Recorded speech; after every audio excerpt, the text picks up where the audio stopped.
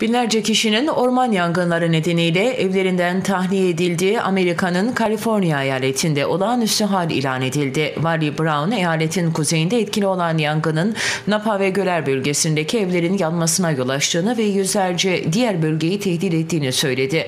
San Francisco'nun kuzeyindeki Middletown'da da evleri yanan 1300 kişi bölgeyi terk etti. Alevlerle mücadele eden itfaiyecilerden dördü ağır yaralandı. Yangının yüksek sıcaklık ve yıllardır devam eden kuraklıktan çıktığı sanılıyor.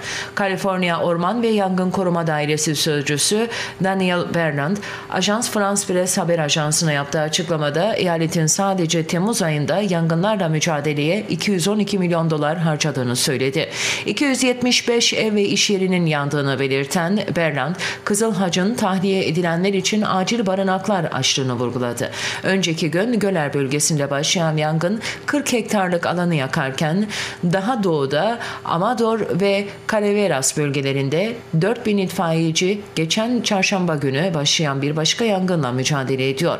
Bu yangının da şu ana dek 65 bin hektarlık araziyle birlikte 86 ev ve iş yerini yaktığı belirtiliyor. Yangının sadece %15 oranında kontrol altına alınabildiği ve 6 bin diğer binayı tehdit ettiği söyleniyor.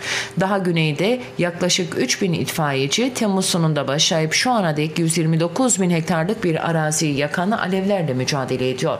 Bu yangının da %29 oranında denetim altına alınabildiği bildiriliyor.